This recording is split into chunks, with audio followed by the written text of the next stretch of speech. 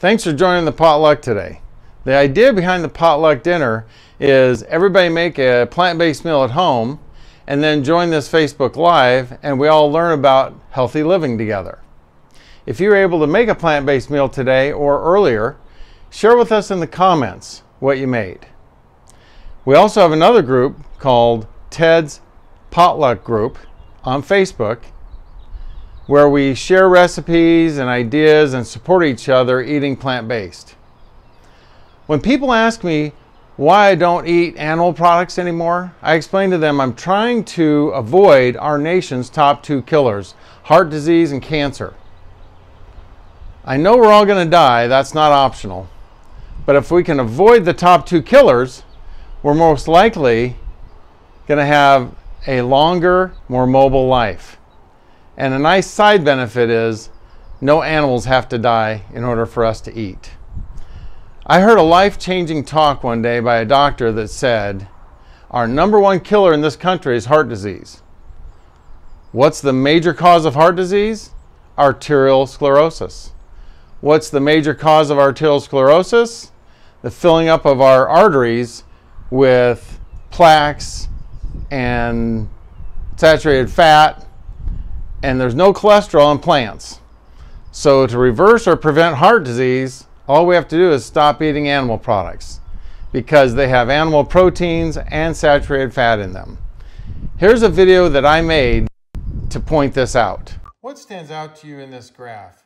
You'll notice that there's an arrow at 1940 when Germany occupies Norway.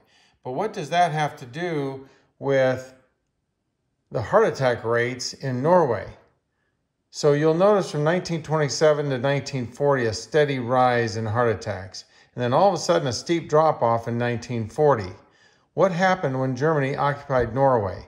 Well, they took all of Norway's animals for the war effort, and look what happened to their heart attack rates. When, when was Norway liberated? 1945. Then they got animals back, and look at their rates of heart disease. We have known for a long time that animal saturated fats cause some forms of heart disease and cancers. Plant-based eaters are 80% less likely to get prostate, breast, bladder, and colon cancer. Why are we still eating animal products? I have seen so many benefits in my health from not eating animal products. That is the reason I host these potluck dinners, first Wednesday of each month. I want to shout from the rooftops, you can change the trajectory of your health by simply stop eating animal products. We're going to hear shortly from a world-renowned food scientist, Dr. Colin T. Campbell, and he's going to explain how animal products can promote cancer. First, I'm going to show you a video that I made to bring awareness to this problem. It's only one minute long.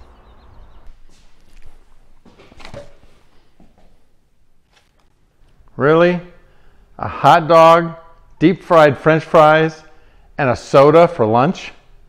Yeah, I love hot dogs. Well, your body doesn't like hot dogs or any other meat. Why? Here's your digestive tract, 30 feet long. Here's the digestive tract of a carnivore, 5 feet long. So our digestive tract is longer. So what? Carnivores have stronger stomach acid. The meat goes in, gets broken down, and out. Hmm, that's interesting. But what's the big deal? Our longer digestive tract is not meant for eating meat. Our stomach acids are not strong enough to break it down. So, so the meat putrefies in our gut and causes all kinds of diseases, sickness, and cancer. Why not eat this instead? Spaghetti sauce poured over spaghetti squash, and baked, then mashed sweet potatoes. Much better choice, all plant-based, very filling, and very few calories. That's delicious. Dr. Campbell is the author of the China Study, Startling Implications for Diet, Weight Loss, and Long-Term Health. His principal scientific interest, which begins with his graduate training in the late 1950s, has been on the effect of nutritional status on long-term health, particularly on the causation of cancer. Thank you very much for that very kind uh, introduction. I want to thank Dr. Mark Schultz and uh, Jim O'Hara and Amy Green for inviting me to this very prestigious conference. It's, it's indeed a pleasure to talk to a conference like this, a medically oriented conference uh, about this topic, about nutrition. Uh, I spent many, many years, uh, more than 50 I guess now, counting all together, working in this field with many students and colleagues, mostly at Cornell University, uh, doing this work. And much of my work in the beginning and throughout my career had to do with trying to understand really what cancer is all about, all the way from the cellular level through the, the whole body level. But along the way, uh, nutrition became very interesting, and uh, I learned a lot of things that uh, I didn't expect to learn. Uh, in fact, my views these days are rather different than what they were when I was a student. Uh, in fact, quite dramatically different. But in any case, um, I want to get into the pre presentation. It's hard to talk about a subject like this, as complex as it is, um, quite frankly, in just the minutes we have. Uh, so all I can do really is to kind of go through, a hop, skip, and jump through some of these significant observations that, in fact, I and my, my students uh, worked on over the years, my colleagues. So let's start off then, and, and, and first to mention, incidentally, that the message I want to tell you is not specifically just for prostate cancer. It's a message that has a much broader and diverse effect on cancers of all kinds, diseases of all kinds, I should say. Um, and um, so it's a, it's, a, it's a, generalized view, but, it, but it's, it's, a view that actually applies, I would, I would argue, to prostate cancer as well as other cancers too. Um, let, let, me start here with this first, uh, this first slide and show you the kind of model that we tended to work with in science uh, to describe the various stages of cancer. What you can see here going from the color-coded green to the, on the left to the red, uh, is sort of the cancer progression process. Cancer, as you may know, takes a long, long time. From the time for the first seeds on through the, the, um, to the development of the uh, clinical uh, diagnosis, essentially. And it's divided oftentimes into initiation, promotion, and progression. Initiation really has to do with the genetic seeds, if you will. Promotion has to do with the long period of time over years when in fact these early seeds, these early cancer seeds are beginning to grow and coalesce and develop into what we call tumors. And eventually uh, we get diagnosed and of course then uh, the things begin to change too. But, but it's a continuum. I want to emphasize this idea, it's a continuum. And the research I'm going to describe that convinced me of a very different view is largely concerned with promotion. And during promotion, during this time. It takes years, decades, if you will, whereas initiation, in contrast, that's just the time it takes for, let's say, for us to get our genes impacted by a chemical or, or something like that. Uh, that occurs uh, all the time, most of our lifetime, to some extent, sort of creating these infant cancer cells. Nutrition is this long period of time, and that's the period of time that I really want to talk about insofar as our own research is concerned. Now, without getting into the details of why I got involved in this particular line of research, um, I just want to show you some results. These are results having to do with experimental animals.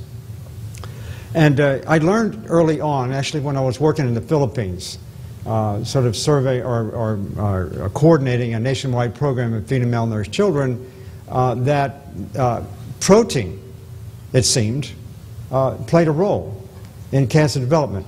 And it was on that basis, without getting, as I say, into all the details, it was on that basis that I came home and we organized a, a rather major research project that continued for the next about 30 years, uh, funded mostly by the National Institutes of Health and also by the American Cancer Society, that led to this, this series of results that I'm going to describe here. And I just want to just touch on just a couple highlights. I could show hundreds of slides to illustrate this point, but I think these, these next two or three slides might do the trick. Basically, the cancer that we were looking at in this particular case as a model to understand cancer was liver cancer in rats, to be specific. And so we were interested in the, the effect of protein on the development of this cancer over the development of that cancer. This slide here basically shows that over the early stages of that development, first 12 weeks, if we fed diets that contained the good levels of protein, the recommended levels of protein, which incidentally is 20% of total calories, as opposed to feeding diets 5%, which is considered not to be enough. Quite frankly, it is enough when they get to be adults. But in any case, feeding the regular levels, the good levels, as you can see, the, the cancers, once formed, started to grow over that first 12 weeks, and quite a dramatic difference. This coincided, in fact, with an observation that was made by some Indian workers prior to that that really got me into this. But then the next uh, series of studies, illustrated here in one slide, really turned out to be quite provocative. Namely, if we started feeding animals the first three weeks, for example, 20% protein, the good levels, the recommended levels, if you will, and then switched them to 5%, we turned the cancer off. If we then returned and fed them the 20% protein diet, we turned it on.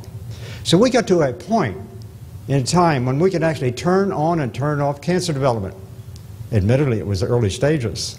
So it begs some questions of whether or not this really applied to, let's say, full-blown tumors. But in any case, this is the early stages, first 12 weeks. And it was the period during promotion. Now, the promotion period, as I say, that's the period, of, I'll return to that. That's the period during which the, the, the nutrition acting as a fertilizer, if you will, of growing these cancer seeds. That's the period of time that's really critical in this whole process. But it turned out we were feeding 20% and 5%. But I wanted to know something about what about the intermediate levels? Going, let's say, from 4% up to 20%. Protein is an essential nutrient, and I'm sure that you all appreciate that. We need protein. The question I'm really referring to here is what happens when we consume protein in excess of our needs. And so this is illustrated here in these experimental animal studies. Namely, up to 10% protein. That's about the amount they need. They don't actually even need that. But they need about that at least, uh, for, or, or that, that's plenty for them to uh, do all the good things that protein does. And it's when they start consuming diets in excess of 10%, we can see the mischief starting to, to develop. And that concept of, of threshold is, is common to nutrient action. There's oftentimes nutrient thresholds. nutrients are good things. They do good things for us. But when we exceed the threshold, we see the level that, you know, beyond that, that's where we get into mischief. And that threshold concept, is, as I say, is, is, uh, is very important in context of what I'm going to tell you here. Now, what I just quickly described was what happens in the early stages of cancer development. Here's a study where we followed cancer development during the entire lifetime of these animals. A lifetime in the case of a rat is about two years, about 100 weeks. And so what we did there, we just fed 5%, 20%. We actually did more than that. This is just as a, a, a sample of some of the data out of a very large study. But we fed 5% or 20% diets for the entire 100 weeks. And if you look over on the right-hand side, you'll see the degree of cancer formation. We call it tumor severity which takes into consideration the numbers of tumors as well as the growth rate size of the tumors. And you can see a huge difference, a huge difference. Feeding the good levels of protein really turned on that cancer, big time. And this coincided, in fact, what the early workers in India had done, coincided with what I thought I saw in the children in the Philippines as well. 5% not. The really interesting part of their study, if you can see there in the, sort of the second column area on the left, is that the 20% animals all died, were all dead at the end of their lifetime of liver cancer. These animals had been exposed to a carcinogen that caused liver cancer, but they're all dead. The animals given to 5%, allegedly not enough to support good health. They're all alive and thrifty. Their hair coats were sleek, they were hopping in a cage, they were energetic, all the rest and no cancer. It was dramatic. It was dramatic. And we actually looked at this in many different ways. The protein we were using was casein. Casein is the main protein of cow's milk. Soy protein, wheat protein didn't do that, even when it was fed at 20% of calories.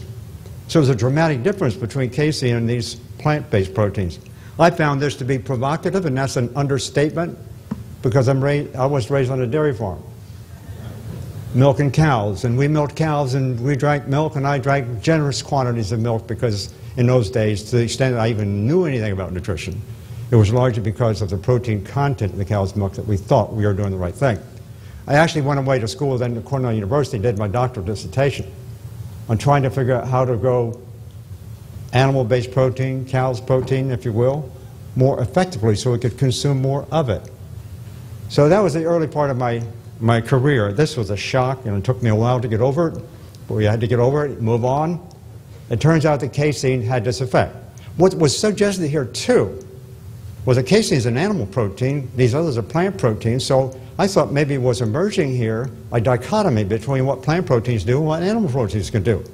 And without giving you all the details of that, I want to share with you my, my confidence in the idea, yes, there is a major distinction between animal protein and plant protein in terms of what they can do, and not just for cancer. So let's stop here quickly for some main points. Namely, a low protein a di dietary protein, something like 5% or so, decreases both initiation and promotion, but its effects on promotion are primary. That's important, incidentally, because we knew, or at least I thought I knew in those days, that during the promotion stage, cancer is reversible. And that's what we basically demonstrated. So the fact that, that, that it operates during that period was interesting. So the nutrient activity during promotion strongly indicates that cancer development can be controlled, perhaps even reversed by nutritional means. That's an exciting concept. That's an exciting concept, especially when you consider it in the context of the levels of nutrient being consumed in this case, not heroic, you know, excessive unreal levels. These are levels well within the range of which we all experience, quite frankly. So we look for how does this work? In science, we like to learn how it works. And a lot of people tend to think it's fundamental to Western nutrition, fundamental to Western science. We want to know how something works. We want to know what the so-called explanatory mechanism is. Because if we know that, then we can do things like maybe develop some drugs and this and that and sort of intercept that right reaction. Well, this was, again, another very provocative idea. It turns out there is no such thing as a, as a single explanatory mechanism. There's a whole bunch of stuff all working, hundreds of thousands maybe, of reactions interacting. It's a very complex system. We started looking for mechanisms, in fact, during the initiation stage and during the promotion stage, you can see there. And every time we looked for a mechanism, we found one. Which, you know, that turns on a light bulb too. You know, because it's not, a, it's not a single mechanism. So we can't stop this by stopping a single mechanism, essentially. It's, it's the whole thing sort of operated together. And that, that principle held true for many other work, much other work we did. We didn't incidentally do just protein in this concept because once we got in, uh, involved in this and I, I started realizing that, gosh, nutrition is, is really important. Why don't we look at some other cancer systems too, like pancreatic cancer and and uh, some other nutrients like carotenoids and fat and breast cancer, mammary cancer, and things like that. And as we got into these kinds of studies, we can see this dichotomy only getting reinforced, this dichotomy of animal-based nutrients as opposed to plant-based nutrients. Animal-based nutrients went that way. Plant proteins-based went that way. And it was major. It was a major distinction. And so for cancer prevention, a diet that has less fat, less animal protein, more plant protein, more carotenoids, essentially is the kind of diet that prevents cancer and reverses cancer, if we can go that far to say that kind of thing. And so let's return to this scheme that I showed you in the beginning. And you can see there, I've elaborated a little bit, the promotion it shows is reversible. That's clear, it's reversible, whatever stage. Plant-based plant-based foods push it to the left, animal-based foods push it to the right. Again, coming from the farm. I remind you, I'm coming from the farm. We did our own slaughter of animals. Did, we milked our cows. We did all the rest, ate our eggs. Uh, this is troubling. The question here in this slide is, well, okay, if it's reversible during promotion, what about during the later stages when people already have cancer? I wanted to speculate that it would operate there too, and I'm convinced it does. We just tend to ignore it. Much of the researchers tend to ignore it or not even study it at all. But basically, the same kind of conditions that operate during promotion prior to the actual diagnosis of the disease are the same kind of forces and mechanisms that are operating after diagnosis, too. I know I'm going out on a limb a little bit on some of this kind of thing, but I'm really convinced that's a very exciting area of future research, and we have a lot of evidence now to support that point of view. In any case, so that's what it works, how it works with cancer. And then wanted to raise some questions. Well, what about some of these other diseases? So um, actually, I got involved about three or four years ago with my youngest son, who's now in medical school, to write a book called The China Study, where as we put this story together, as I started writing this down and tried to understand what in the world it was that I thought I knew, we wanted to go back and look and see if this was consistent with some of the other kinds of diseases too that troubled us. And it turns out, here's a list of a bunch of diseases, not a complete list, for which there is published peer-reviewed research. Really substantial stuff that goes back a long time, much of which has been ignored by the medical community, I must tell you, and by my, research, my own research community. But in any case, the same plant-based diet comprised of whole foods is known to prevent, to suspend, and or cure all of these diseases, some of which are very serious, as you know, some of which are perhaps just problematic and troublesome. But in any case, that's quite a list. And I could spend here hours talking about some of the research that's been done. It, it turns out that this idea of consuming plant-based diets to prevent cancer, reverse cancer, is the same kind of diet that actually restores health and prevents disease of all kinds. It's just, it's the, it's the very definition almost of health. At the same time, it also promotes superior physical fitness, believe it or not. I've been working with some world-class athletes who have gotten into this and are finding, in fact, they're the ones that tend to get out in front of the others when they do it the right way as far as performance is concerned. Uh, it's a very, very exciting area. I think uh, athletes have, unfortunately, the elite athletes have gone too far into the high protein, high fat, low fiber kind of diet to do their various and things, and they need not do so. Okay, so I'm talking about something that's holism. I call it holism. That word in the dictionary is usually spelled H-O-L-I-S-M. I don't like it spelled that way. That's my spelling, because I like to talk about the whole. So what we've summarized in the last three slides is that there are countless dietary and lifestyle factors. I really mean countless. I don't know how many, hundreds of thousands of things and foods that might be operating in this sort of system who operate then between, you know, through countless biological mechanisms, and again, unlimited, really, to produce countless health and disease endpoints. The same thing, it's a, it's a common formula, it's a common message, essentially, that's operating in this way. And it's the, we have to acknowledge the fact it's very complex as far as the biochemistry is concerned. And it's a mistake to focus on one, just one little bit of it at a time not being aware of the whole. But the whole is much greater than the sum of its parts. It, it is indeed impressive. In fact, the converse of that is reductionism, as I call it, which is fundamental to the way we do research, is fundamental to the way we have actually practiced our medicine. I call it when it's called naked reductionism. In other words, look at things in isolation. Single chemicals doing single things by single mechanisms is trouble. We're asking for trouble when we do it that way especially when we consider the question of diet. And that's where a lot of confusion arises in the public about nutrition. People tend to want to think, what does this nutrient do? What does that one do? And how does it work? That's not the way nutrition works. We've got to consider it, you know, in the context of whole foods. So I say, if there's an evil force in biomedical research, it is, in fact, naked reductionism. I'm working on a second book right now to sort of elaborate this, this point, but I, I think it's a very important point because it's fundamental. It's the way we in the professions think wrongly, as well as the way the public thinks wrongly about what really creates health. Uh, now I'm going to show you just the consequences of, of that wrongful thinking. I'm going to go back and just choose an example that you may have heard about. This is a comparison, for example, that was published in the 1970s by my good friend, my late friend, Ken Carroll, and some others, uh, showing the relationship between total fat intake and breast cancer.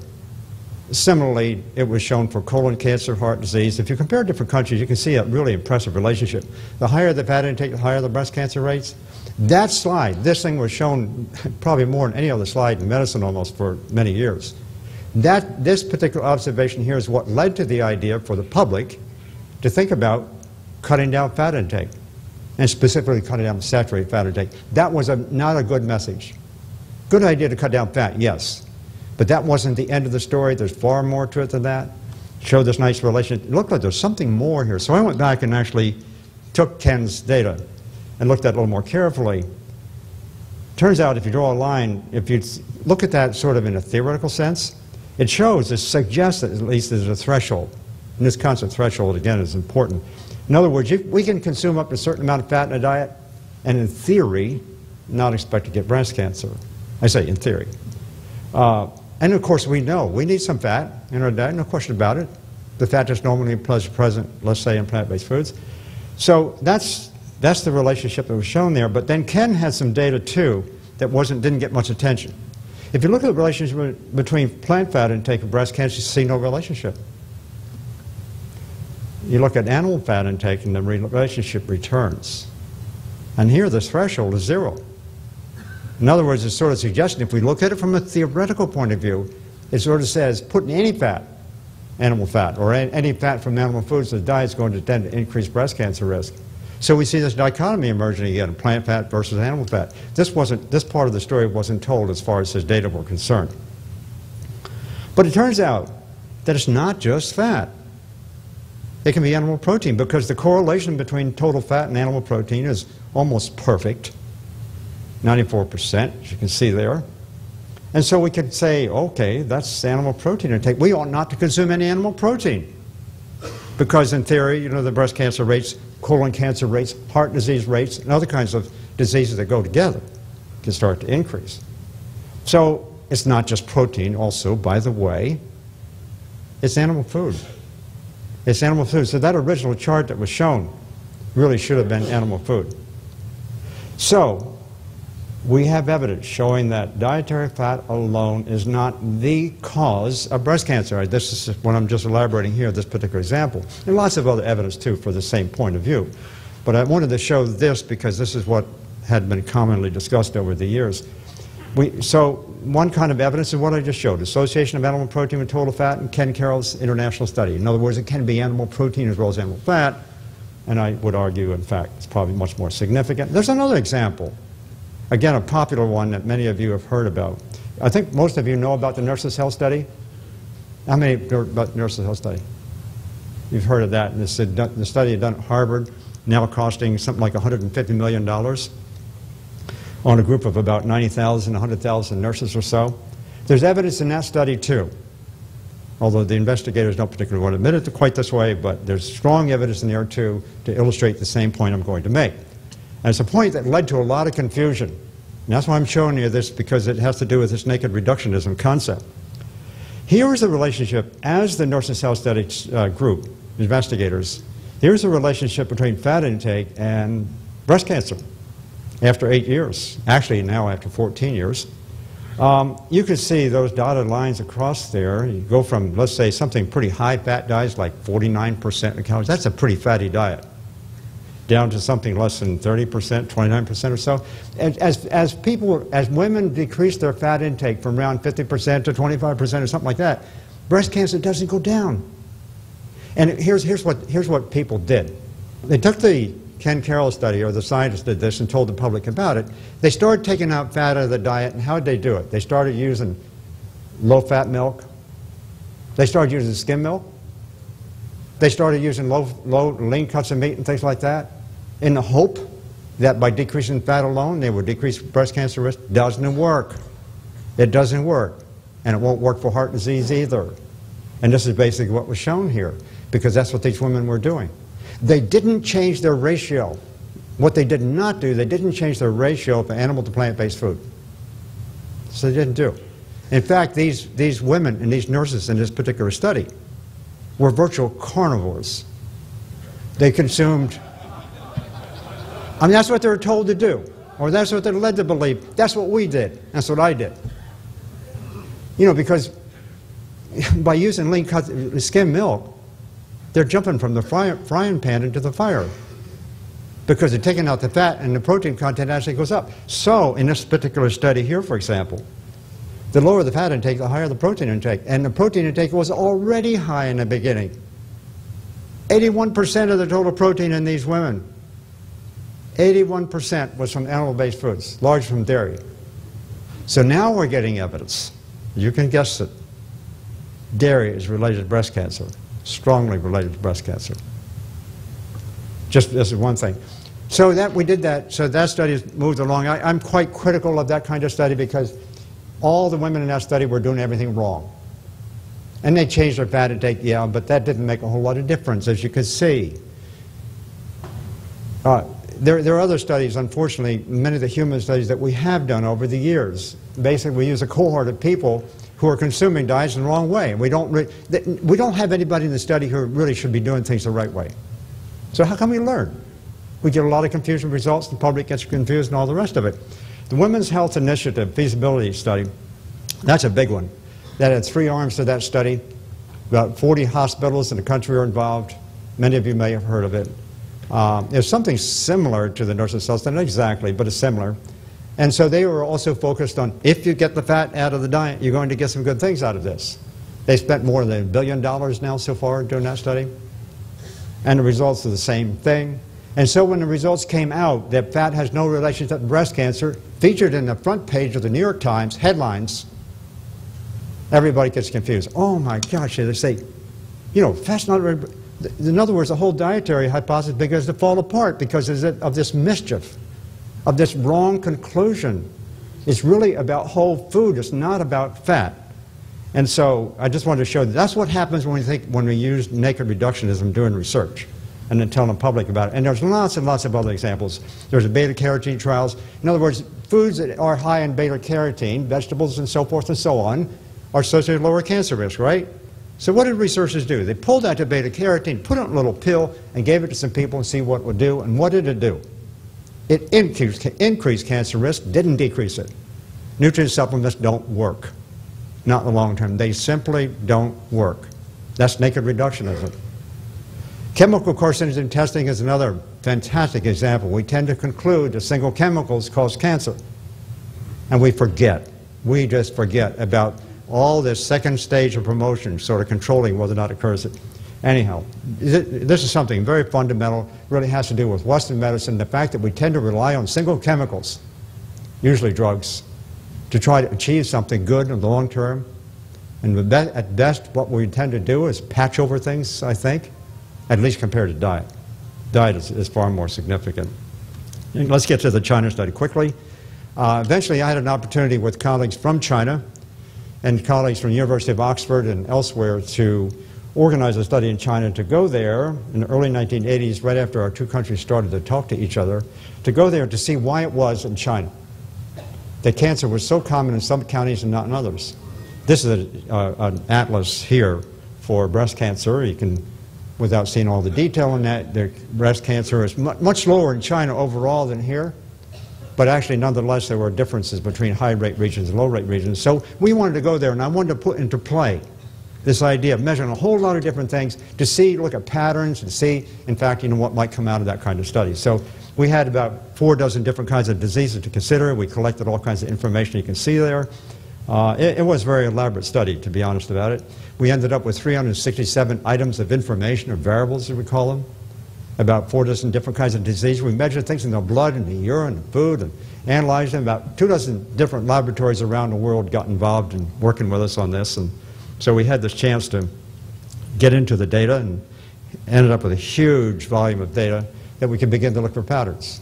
And we started, our, uh, started looking at little details of that big pattern of stuff, and here's some here. This has all been published. Breast cancer versus fat, estrogen versus breast cancer, age of men breast, I mean on and on and on. What came out of these detailed analyses of the bits parts was basically the same thing. The closer we get to a plant-based diet, Whole foods plant-based diet, not the nutrient supplements, whole food plant-based diets. the closer we get to that, the greater is going to be the health outcome, and the less is going to become the disease. And I should say, a low fat, I mean, let me go to the next thing here. Uh, here, here's one way we looked at the China data, this huge volume of data. When we look at data this way, we have to use different approaches. We can't look at single little details. So all the, here's a bunch of diseases that we had data on in China. And I just simply wanted to see if, in fact, there was any aggregation of similar kinds of diseases in the same area. And you can see two lists here, so-called poverty diseases and also affluent diseases. All the diseases in any one list is correlated with diseases in its own list and inversely correlated with diseases in the opposite list. So in other words, the diseases on the right are diseases that tend to get us in Western countries, industrialized countries. The diseases on the left tend to get poor countries. So this suggests there's some common, maybe some common causes. I wanted to know what were the common causes, let's say, of affluent diseases, and we measured a bunch of stuff.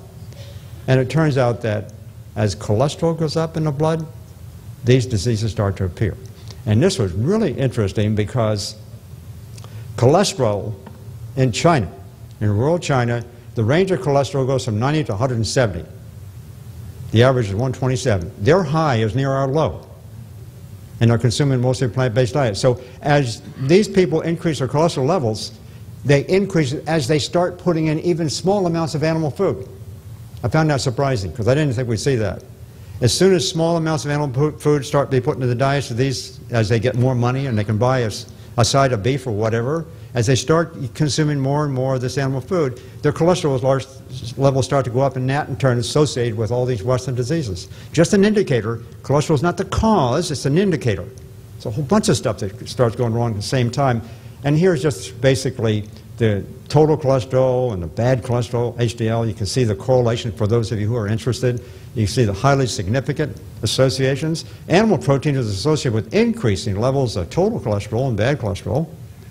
And plant protein, as an indication of plant-based foods, of course, is inversely correlated. So, in other words, it, it, it sort of affirms essentially what we were doing both in the laboratory and in other human studies. So here's the big, grand sort of conclusion in a way. For minimal disease risk, this is from the China study, virtually all of the observed associations favor the nutrient composition of a whole foods plant-based diet as I say, what made this particularly intriguing in China, if we go back and take those data that Ken Carroll had in the beginning, looking at breast cancer for different countries in the world, and I marked it off here. Western studies are all done at the top right quadrant. We're all consuming the wrong stuff. We do studies and we get confused and we tell it to the public and the public gets confused and you know, we change little things here and there. Just trivial changes aren't going to make much difference. But then in the lower left-hand quadrant, no studies have been done down there. That's where the China study was. And what basically showed is that we start putting in reasonably small amounts of animal-based foods, and I should add, not at that time, as we start consuming processed foods too. In other words, getting away from whole plant foods, we get that problem. So there's the main idea. Plant-based diets enhance health, prevent, and cure a broad range of diseases. It works throughout the disease process, as I like to uh, suggest again, there's, there's the diet I'm talking about is whole vegetables, fruits, grains, legumes, nuts, little or no added salt, sugar, fat, processed foods. That's what we need to work toward, and the results can be amazing. Incidentally, this is a high carbohydrate diet. You can see 80% of the energy, this is a high carb diet. You may find that surprising. Carbohydrate basically only comes from plant foods. When you're consuming plant foods, that's a high carb diet. Unfortunately, there are some really mischievous authors that have been out there with no training in nutrition, writing books talking about high protein, low carb diets. They were the ones that invented that silly term carb. I like to think of carbohydrates, but in any case, they confuse the public about talking about low carb diets when they were really talking about refined sugars, white flour, things like this. Fair enough. That kind of carbohydrate is not what I'm talking about. I'm talking about whole foods which incidentally is a high carbohydrate kind of food. So, this is my final slide. In, in my research career, what, as I look back, I, uh, the thing that, that intrigues me most and convinces me most about this message is to try to work out some principles, principles that can apply across genders, male and female, principles that apply going from one species to another principles that apply from early stages of disease to the late stage of disease. Principles that apply going, let's say, from pure good, really good health to ill health. Principles. So I think principles, once we get the principles in our minds, we begin to understand what's going on. That's what's so impressive. And here are some principles. Health, health and disease is a continuum, it's not a dichotomy. We don't, for example, in, in cancer, all of a sudden we're free of cancer, and suddenly we go to the doctor, and the doctor says, you got cancer. No, no, no. It's just been noticed at that time. That's basically what it is. Because there's a continuum. So the factors working toward that point also work after that point. Multiplicity mechanisms works like a symphony. Our body is a symphony when you think of nutritional sense. It's beautiful. Dose response thresholds are very helpful to understand what they are. We can control our genes through nutrition. So what are we doing all this research and get so concerned about genetic disorders? Plant-based diets keep all these mischievous genes that we have in our system under control. The effect is comprehensive. It applies across the board. And then, since I should tell you, I think this is a validation of history. I've really been quite interested in the history of philosophy and the history of science. This idea was extant and popular in the 16 and 1700s by the leading authorities of the day. It also was prominent in the 1800s by serious people too, and it got put to sleep about the late 1800s as we got into the industrial age for all sorts of different reasons.